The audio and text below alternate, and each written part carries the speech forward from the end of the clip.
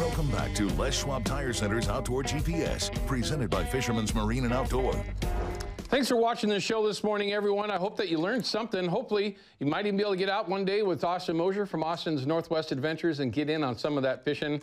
Yeah, I'm starving now that I've been thinking about it. Tomorrow, Jack Glass, legendary guide here in the Northwest from Team Hookup Guide Service. He's going to be out chasing some steelhead somewhere, and we're going to hope for good reception. Also, we'll have your Chevy Silverado tech tip of the week. As always, everyone, tight lines, shoot straight. Please be safe out there. We'll see you tomorrow morning at 9 a.m. right back here on KPDX. We'll see you then, everyone.